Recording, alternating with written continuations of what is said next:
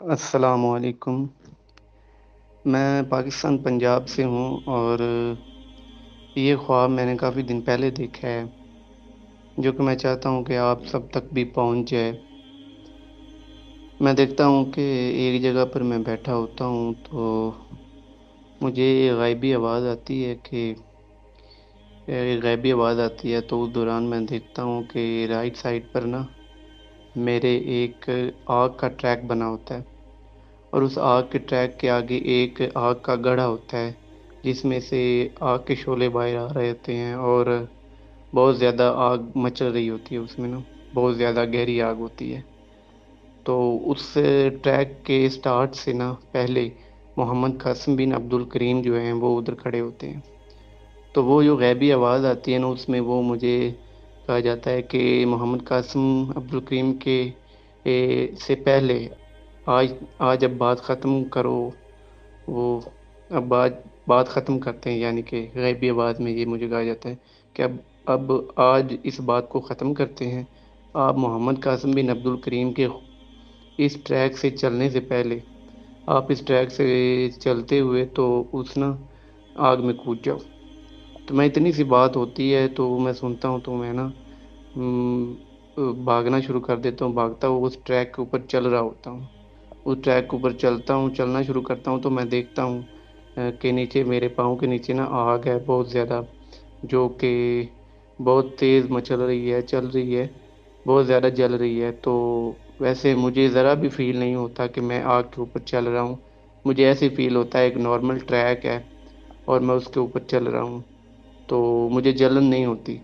मैं आगे चल के जा रहा होता हूँ तो वो जो आग का गढ़ा होता है मैं उसके उसे देखता हूँ तो बहुत ज़्यादा ख़तरनाक नज़र आ रहा होता है।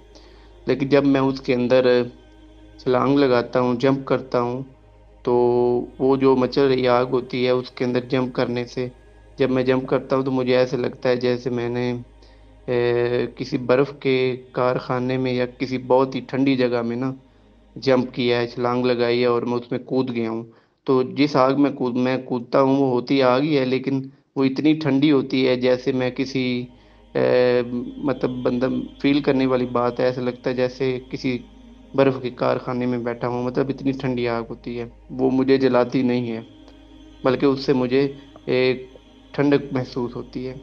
इसके बाद अगला सीन उसी ड्रीम में मैं देखता हूँ कि एक घुंघराले बालों वाले शख्स होते हैं, जिनकी लंबी लंबी दाढ़ी होती है और लंबे बाल होते हैं घुंघराले और वो पास बैठे होते हैं। तो उनकी साइड जो है ना, फेस मुझे सिर्फ़ नज़र आता है। उनकी दाढ़ी भी होती है, माशाल्लाह। तो मैं उनको बता रहा होता हूँ कि मेरे से पहले काफ़ी हेल्पर्स जो कुछ हैं ना, इससे गुज़र चुके हैं। काफ़ी ज़्यादा लोग इससे गुज़र चुके हैं।